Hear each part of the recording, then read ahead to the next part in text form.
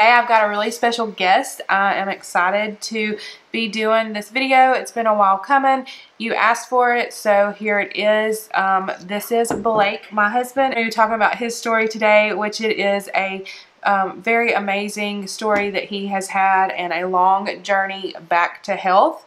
So let's go ahead and jump right into it.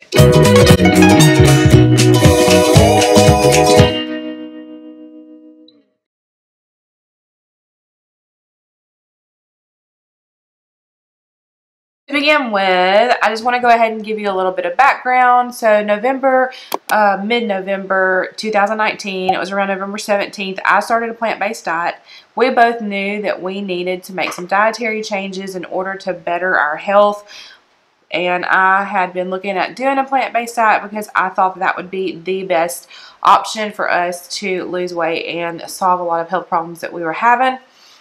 Um, now he was a bit resistant. He did not want to do a plant-based diet, uh, much less any other kind of diet. He was perfectly fine with the status quo. He did know that he needed to lose weight and make some healthier changes, but he wasn't quite ready to jump on board. And then he got a upper respiratory infection somewhere in the mid in mid-November, and it just started out kind of mild. Um, and then it quickly progressed and we didn't really know what was going on. There were some weird things going on. Um, he had gone to the doctor several times and they could never pinpoint what it was. And now this was before all of the the COVID information had been released and we're not really sure if it was that, I mean that early on or not.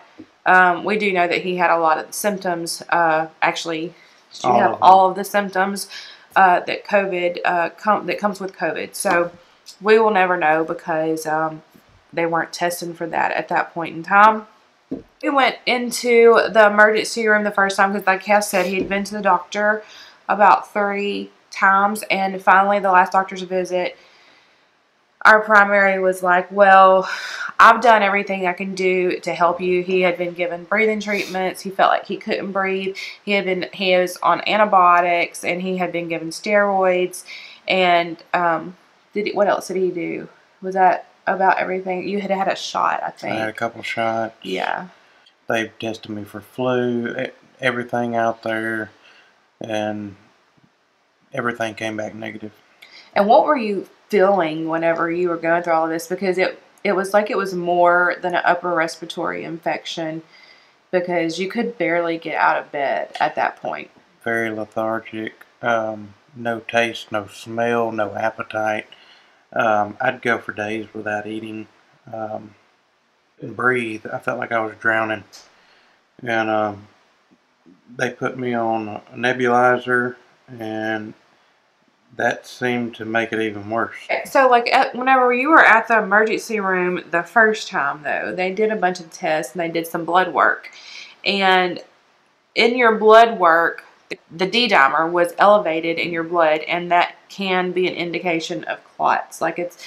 And because usually, I had such trouble breathing, they thought I might have had a pulmonary embolism.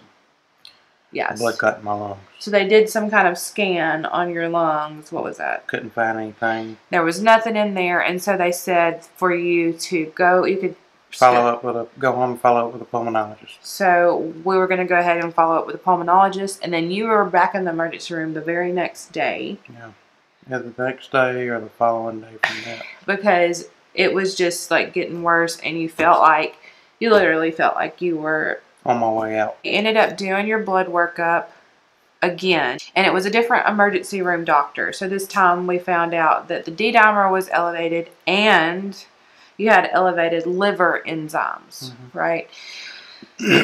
so what happened after that? You were transported to by ambulance to an, a, another hospital, to mm-hmm. a specialty hospital, and they admitted you.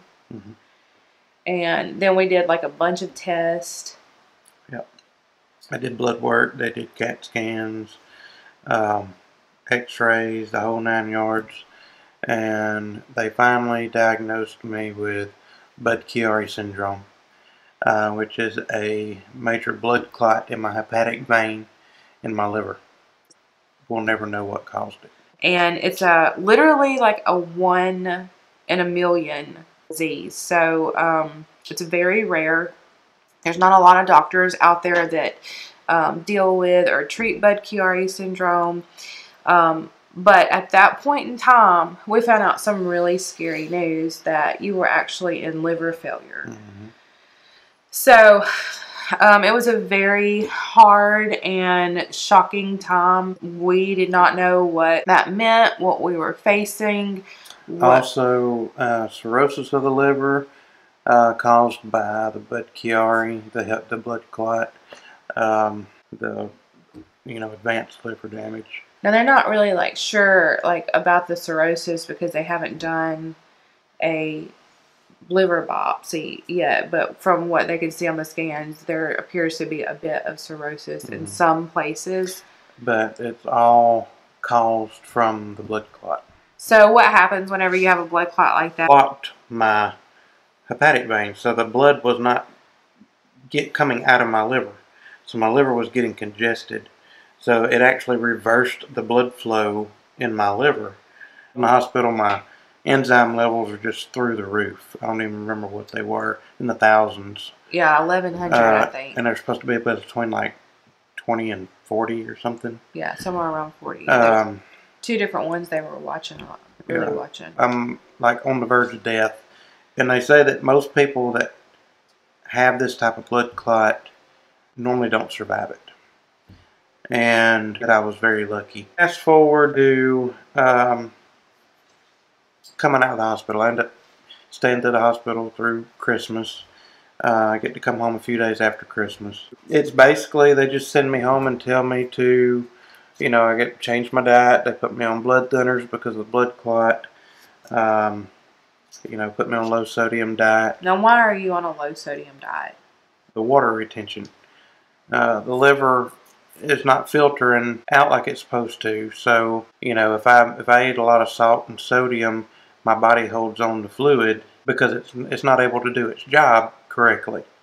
They put me on water pills and diuretics and Lasix um, to help get move some of the fluid off of me. Well, my diet, you know, I I basically um, pretty much go vegan because I, they've told me in the hospital, you know, you can can't eat red meats, you can't eat pork, um, limit chicken and fish, no raw food, so no sushi, um, no raw oysters, no anything. Very tough emotionally uh, and mentally because I had to completely change my lifestyle. Um, and I, I battled myself with that for a long time and still do sometimes.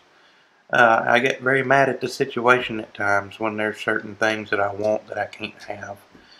Um, and uh, she's been my rock because you know sometimes she she takes it, you know, and I don't I don't mean to. Um, I don't. I'm not taking it out on her. I get mad at the situation, not at her. So we've we've learned to make changes. You know, my numbers started getting better. Uh, my liver enzymes steadily started going down.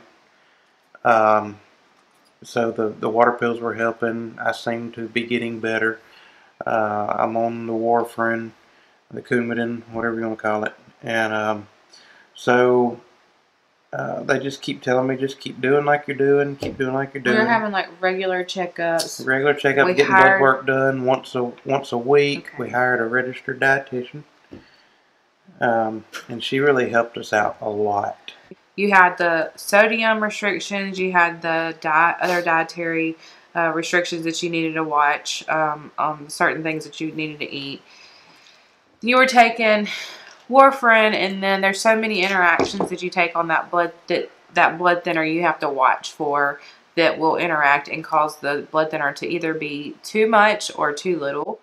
Um, and then with the water pills, we had to watch out for potassium retention too. So we were looking at like an insane situation as far as diets went. So, plant based, we had to make sure that we were eating the same amount of green foods because one of the things with warfarin is that the vitamin K in the green foods make your blood thicker. After we had some um, follow ups, we went in to see the surgeon at our first hospital that was part of the liver uh, transplant team. When we went in and talked to the surgeon, what was the news that we were told? Um, that he basically wanted me to get a liver transplant. Not expecting that whenever we went in to talk to him, and we had a ton of questions. And it was a really hard day because that was such shocking and Emotional.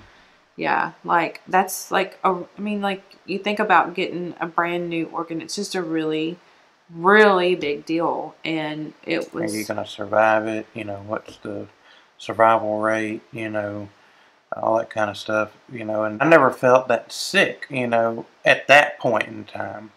But I'm not expecting that news because I'm I'm feeling better. Uh, you know, I'm, I feel like I'm getting better, and they keep telling me that, you know, your numbers are improving, you're you're doing good, and then all of a sudden the surgeon says, "Oh, you need a liver transplant." So it was just a real major shock. yeah. And then somebody that I used to work for, one of her friends, knew of this other doctor, and she was like, "Hey, I think you should check out this doctor. Um, he's really, really good." So we did, and he's actually in Houston. And so we were like, okay, let's go get a second opinion and see. Um, we heard a lot, so many good things about uh, this doctor. So we did. We went and got a second opinion. And whenever we talked to him, it was like night and day. Um, so why don't you tell us a little bit about that? uh, just fell in love with him right off the bat. Um, you know, just his uh, bedside manner, uh, the whole demeanor, his outlook on everything was just so positive. Then as we left the office, I told Stormy, I said, "We're we're changing doctors." You know, so we ended up going with him, and he basically told me at one point that he's he was glad that I came into his life because it made him rethink the way he treats Budd-Chiari patients, and that he's going to completely rewrite rewrite his treatment on Budd-Chiari treat uh, patients. Um, Now, did he think that you needed a liver transplant? no. After leaving his office, he basically said, you know, let's just keep everything the same, doing what you're doing, um, as far as diet and everything goes. Um, you know, I, he still wanted me, he wanted to update my tests, so I had to get MRIs, CAT scans, and that kind of stuff. Um, so, you know, we continue with the diet. I'm losing, I'm steadily losing weight. Um, you know, back when I was in the hospital in December and I originally got diagnosed, they also told me that I was diabetic. So we had that was also another dietary restriction that we had. So we had to watch his sugar as well. Yeah. So, um, my primary care doctor that I go to every week to have blood work drawn, that I was no longer diabetic. And what you had lost how much? How I much lost weight? 80 pounds, and uh, I have completely reversed my diabetes. Um, he told me that my A1C had been holding steady uh, for quite some time. So he had told me that in all of his years in practice, he's never had a patient to actually reverse diabetes. He was actually pretty excited to give you a call and Yeah. tell you that yeah, you was. were no longer diabetic. Yeah, he called me. At, he called me at home. I didn't even see him in the office. He just called me on my phone. He said, "I've got some really great news." He said, uh, "You're." He said, "We've been watching your A1C and all that stuff every time you come in and get blood work. You know, we always check everything." And um, he said, "He said, uh, you you're not diabetic anymore." That was a huge win, especially Mhm. since we're dealing with a liver disease. Yep. That's just one huge worry that is no longer on your plate. Mhm. And I know without a shadow of a doubt that we can accredit that victory No, it's all to diet. to a plant based diet Mhm. for real. Yeah. And um, so, uh, holding steady with what we were doing, um, the diet, the diuretics and the Lasix basically kind of stopped working. So I'm holding on to liver. I mean, holding on to holding on to fluid. And uh, so we go in. Concerned with the fact that I was retaining fluid. He said it's time to do a TIPS procedure. And so, what is a TIPS procedure? They go in through your jugular vein in your neck, go down through your heart, and put a stent in in your liver to bypass the blood clot, which is what they did to me. Immediately after surgery, the pressure on my liver went from like 40 something down to like 8 or 9, something like that. It was actually is actually dropped below what normal pressure on a liver should I think, be. yeah, he said like normal pressure is around 10 to 12 or something like that. Yeah, I you know, can't like remember not, what it was, but he said that mine was actually better than his was hmm. after my surgery. Immediately, my blood pressure dropped because I've always kind of had high blood pressure. Uh, but my blood pressure went from being high around 140 over 90 average to I'm like in like 110 over 70 now. Yeah, which makes a lot of sense, like because it's just like plumbing, you know, Mhm. like all that out. The pressure immediately has dropped on my liver. My liver has actually started regenerating new growth, so my liver is actually getting healthier. and we're just using a plant-based diet to maintain health. We've had um, a lot of wins already, you know, with him uh, losing the weight, reversing diabetes, and we truly both feel like this is like the healthiest way that he can eat. How do you feel about a plant-based diet now that you've been doing it for over a year? Um, I'm a lot happier with it now than I was in the beginning. I fought tooth and nail in the beginning against it, you know, because it was it was such a major life change. Um, And it wasn't like a decision you came to like on your own. Like, Right. It wasn't a, a hey, I want to do this. It's hey, you got to do this. You know, and I don't I don't take to people telling me what to do very well. Um, That's true. so um, I'm kind of hard headed, but um, but I've learned to love it, um, and I I can definitely feel the difference, uh, you know, from it. Um, and you know, I would recommend anybody doing it, especially anybody that's got any kind of health issues, or if you just want to lose weight and get healthier. Um, you know, even if you don't need to lose weight, you just want to get healthy. Um, there's not a better way to do it. Uh, you know, there's no diet pills out there that's going to do it for you. They're not going to make you healthy.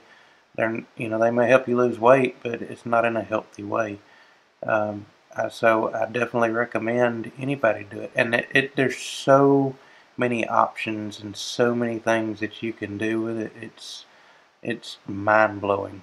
You know the options out there, and just because it is plant based or vegan or vegetarian doesn't always mean that it's healthy.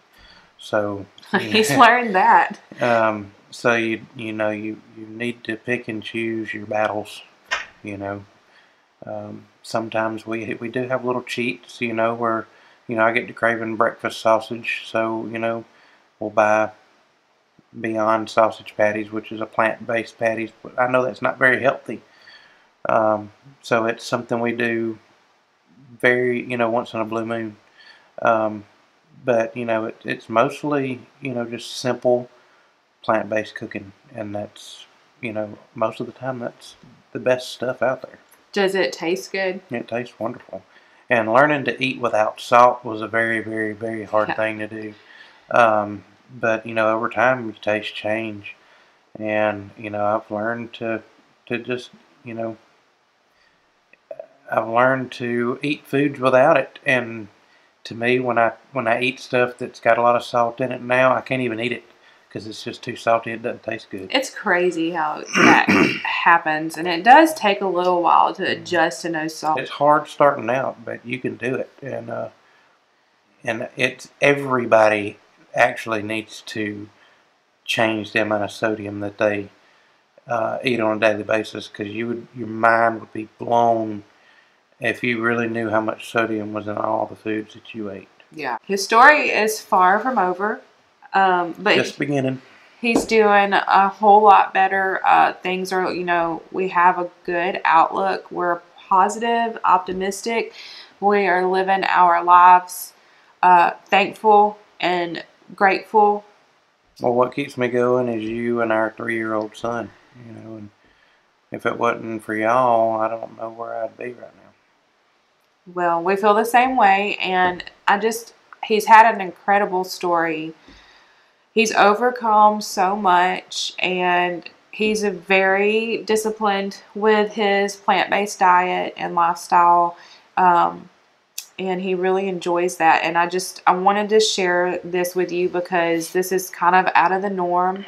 Um, and he was able to do a lot of great things for his health with a plant-based diet. And I had talked to y'all about it in whenever I shared my story and my story pales in comparison to what he has overcome and been through and I knew that maybe if there were other people out there struggling with major health problems um, looking to you know find something healthier. Now, like I said, we did work with a registered dietitian. And if you have a major health problem, that may be something that you need to look at because as Dr. McDougall says that diet is powerful medicine.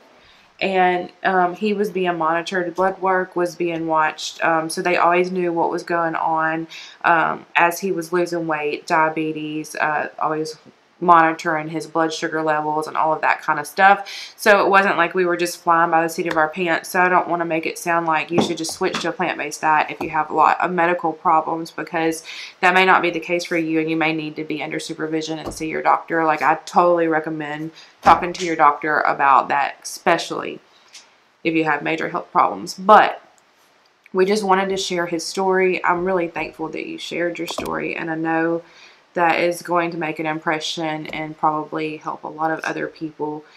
And I'm sure there's a lot of people out there that can relate to overcoming difficulties like that. So thank you so much. So if you like this, if you stayed with us this long, please uh, drop a comment below and let us know what your biggest um, lifestyle change has been uh, on a plant-based diet. If and you got any questions, um, I'm an open book.